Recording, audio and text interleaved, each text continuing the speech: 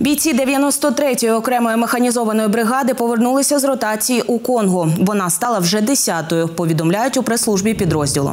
На африканському континенті військові у складі 18-го окремого вертолітного загону ЗСУ впродовж півроку служили у миротворчій місії.